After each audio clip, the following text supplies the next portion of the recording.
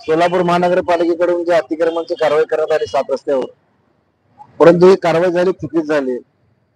जर तुम्हाला अतिक्रमण करायचं होतं त्यांना सांगायचं होतं की तुम्ही बोर्ड काढावं किंवा अतिक्रमण झालं असेल तर कोणताही अतिक्रमण असताना खाजगी जागा मालकी जागा असताना तुम्ही अतिक्रमणावरून बोर्ड काढण्यात आला त्यांचं लाखो रुपयाचं नुकसान केले चुकीची कारवाई महानगरपालिकेकडून होत आहे. मी एक कार्यकर्ता म्हणून आपल्याला सांगतो महानगरपालिका इतका नागरिकांचं नुकसान करण्यात नेहमी एक तर सोलापूरची परिस्थिती बिकट. कामधंदे नाहीत नोकऱ्या नाहीत. एखादं काय तर करून खायचा विचार करत त्यांचं नुकसान करतात.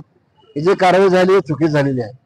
पालिका अधिकारी जे आहेत आज कारवाई केलेली आहे. त्यांना कुणा दबावाखालीच कारवाई केलेली आहे त्यांनी. एका राजकीय पक्षाच्या नेत्याच्या दबावाखाली त्यांनी काम केलेलं आहे. कोण आहेत राजकीय पक्ष नेते? कोण आहेत? आता तेच की जाऊन माहिती जे आता. ते सांगायला तयार नाही अधिकारी. हा. आमच्याकडे तक्रार आली काढायला पाहिजे म्हणून.